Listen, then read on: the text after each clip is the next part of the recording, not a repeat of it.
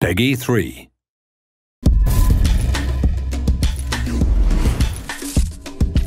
Our journey into the world of Ride 4 continues. To let you enjoy the unparalleled experience given by our work on the bikes to the fullest, we also had to achieve the same great results with the tracks, their different environments, and their unique atmospheres.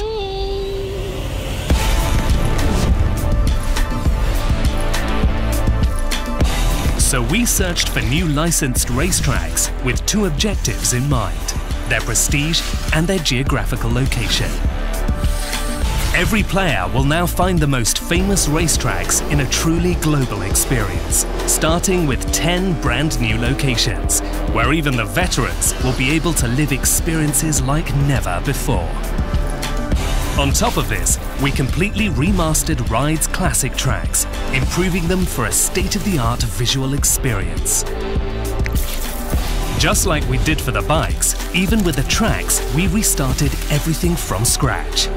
Every single detail, from the asphalt to the guardrails, the nets, and even the tyre barriers have been improved. And to recreate every licensed track as faithful as possible, we use drone and laser scanning acquisition techniques. The weather and the time of day are very important, especially in an immersive experience like a motorcycle race. For this reason, each track will have its own dynamic cycles that will define lighting according to the time of day or night and the weather. It means that we can now choose the time of the race, for example with a start at sunset and a finish at night. Thanks to our dynamic cycles, the weather can change at any time, with a wide range of conditions, from heavy rain to clear sky. This won't just change what you'll see around you during the race, but it will totally affect your gaming experience too. For the first time in the Ride series, in fact, we introduced the tyre wear factor, so race time and weather conditions will now be an additional parameter that the player will have to keep in mind.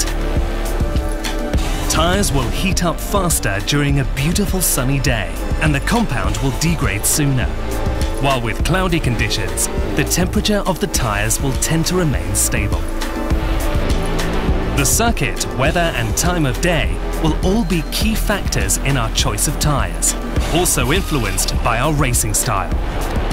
Being overly aggressive could decrease the grip and the lifespan of the tyres.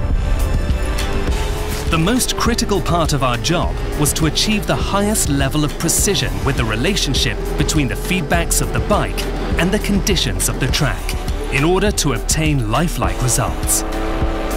Being able to balance all these elements wouldn't have been possible without incredible teamwork, laser focused on just one goal to increase the level of realism in the most extensive variety of situations, to take the players to a completely new and immersive world.